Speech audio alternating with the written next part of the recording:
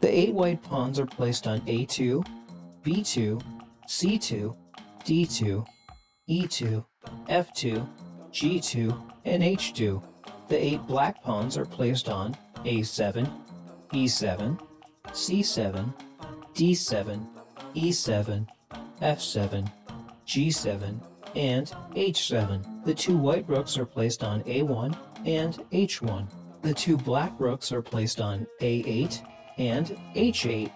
The two white knights are placed on b1 and g1. The two black knights are placed on b8 and g8.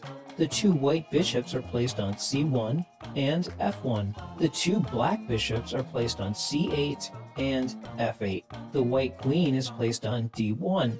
The black queen is placed on d8. The white king is placed on e1 and the black king is placed on e8.